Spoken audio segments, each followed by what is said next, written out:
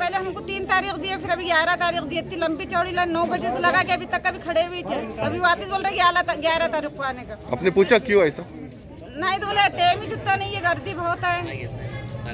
तो कुछ बात ही नहीं करने दे रहे चिल्ला पुकार कर रहे हैं। आंग पे आ रहे खाली भुगत रहे कुछ भी बोल रहे पुलिस स्टेशन में भी गए तो बोले हमारे गने मत आओ तहसीलदार गने जाओ इधर जाओ किसके गने जाने? कितना भटकने का इंसान बुढ़ा आदमी लेके उसे रिक्शा में लाने का आप कितने बजे आए थे यहाँ?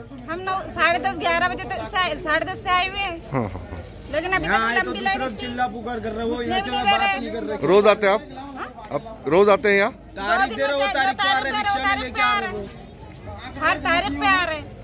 ऐसा नहीं कोई तारीख पे नहीं आ रहे फिर तारीख पे आए तो बोले फ़ोन करके बुलाएँगे तो फ़ोन भी नहीं आते। और बुढ़े आदमी को तो रिक्शा में लाने का फिर लेके जाने का। किसका निकलने आया आप आधार कार्ड? मेरी माँ जी का। कितनी उम्र है उनकी? पासपोर्ट पे है उम्र उनकी सत्तर बरस की उम्र है।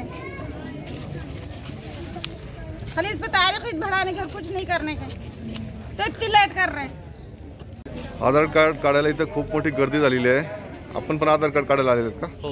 काय झालं मग? माझं आधार कार्ड अपडेट करायचं आहे हाँ या ठिकाणी कमीत कमी पंधरा दिवसापासून हाँ. दोन तीन चक्कर माझे झालेले आहे हाँ. पण विषय असा आहे की आज आपण उभे आहोत तहसीलदार कार्यालयांच्या समोर आधार कार्ड शासकीय केंद्र आहे. हाँ. या ठिकाणी कमीत कमी चाळीस ते पन्नास लोकांची गर्दी आपण बघताय. हां.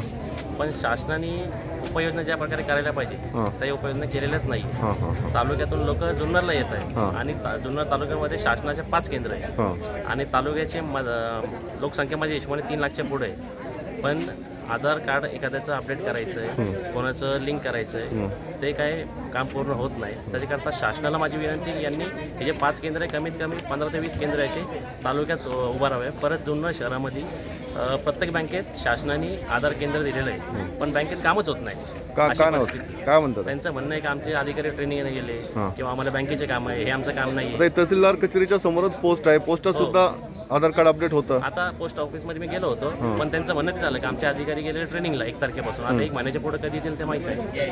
असं त्यांचं म्हणणं आहे. काय केलं पाहिजे? याच्यावर उपाययोजना काय केली पाहिजे? काय वाटतं आपल्याला? त्याच्यावरती उपाय नाही ते का प्रशासनाने लक्ष घालून कमीत कमी अजून पंधरा केंद्र दहा पंधरा केंद्र वाढवायला पाहिजे. हीच विनंती.